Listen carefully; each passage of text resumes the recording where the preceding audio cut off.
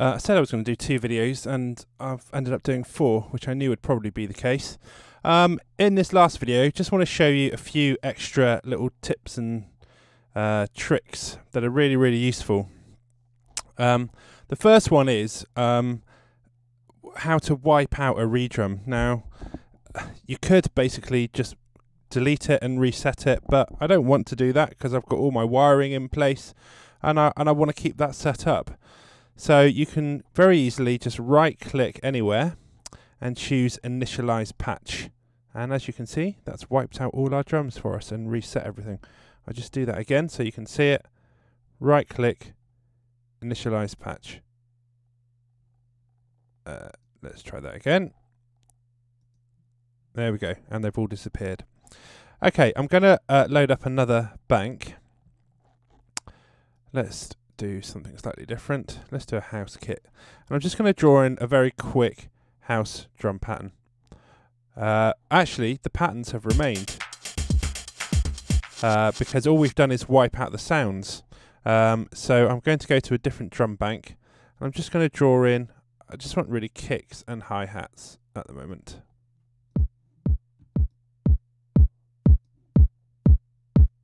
Make it a bit brighter. Uh,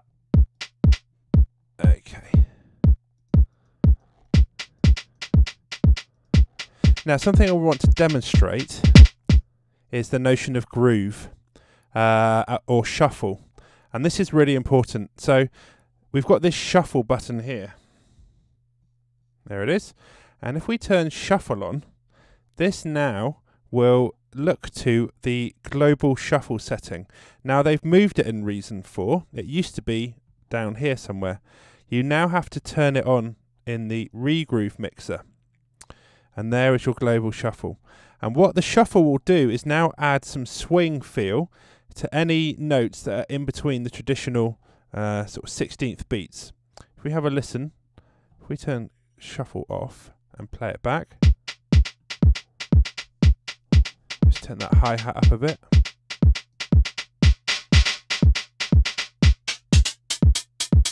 If we start to turn the shuffle up,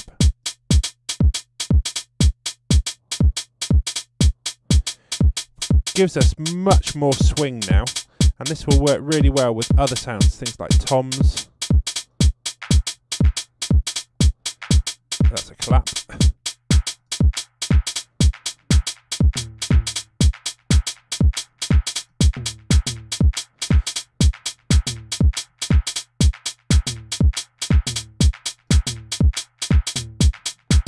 If we turn the shuffle off,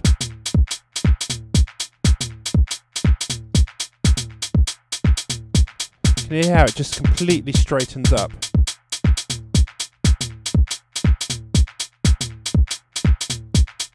Okay, so I would suggest if you want to give your drums a bit more of a looser feel and a, and a bit more swing, really start getting to work with uh, the shuffle settings. Another thing I want to look at is flamming. Uh, let's get a snare on the go. And we'll get another hi-hat actually has got some very odd reverse settings, which I don't want. Okay, we'll use this hi-hat.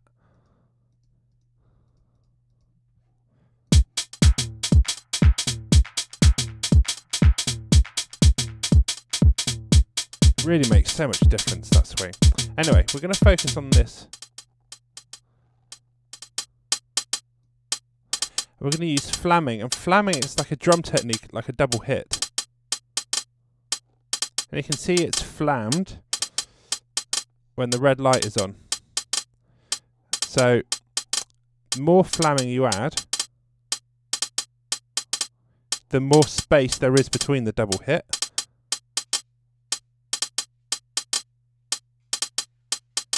It's nice for sort of um, almost triplet feel effects.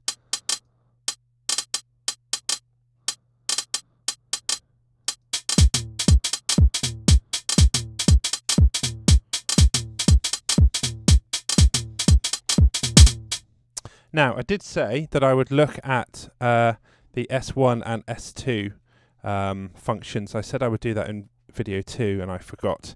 So I'm just going to show you how that works. Now, the S1 and S2, this refers to, I'm just going to close this down. This refers to the send effects that are used up on the mixing desk. And send effects I haven't looked at yet. Um, so I'm going to assume that you understand what send effects are. So I'm just going to create a couple of send effects. And we'll create a delay. So the idea, if you're not sure what a send effect is, is that it's an effect that gets sent uh, to the. Let's start again. If we want to send the sound to an effect through the mixing desk, uh, then we use the send effect. The idea being, for example, reverb uh, is on um, all the way across uh, these knobs at the top. This number one. So through the mixing desk, for example,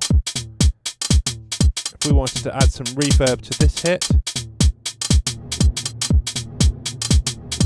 You can really hear that kicking in, and you can see it activating as well. You can try it on others. Now if we wanted to add some delay, which is a bit messy, but you get the idea. Basically, what S1 and S2 do is exactly that, um, assuming that you're not using a mixing desk. Uh, now we've got this set up at the moment so our redrum is wired up to the mixer, which I think is the way to work.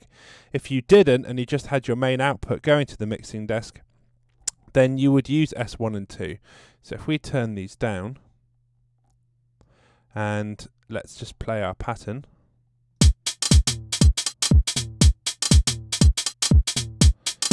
So if we've got the tom on 3, we can just turn up S1 on here.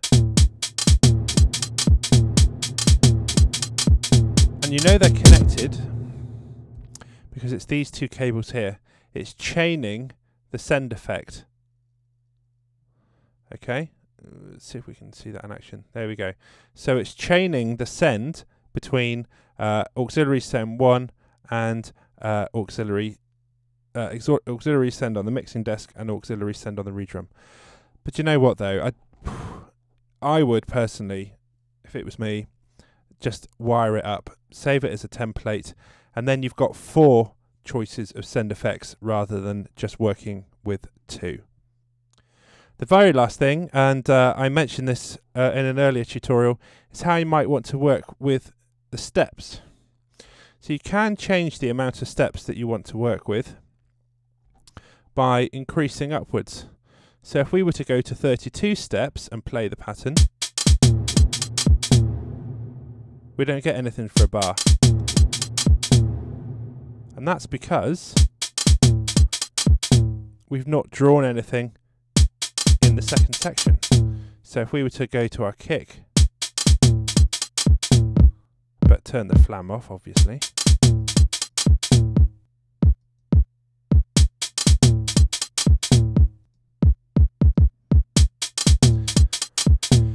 Uh, basically, it's allowing us to extend the pattern.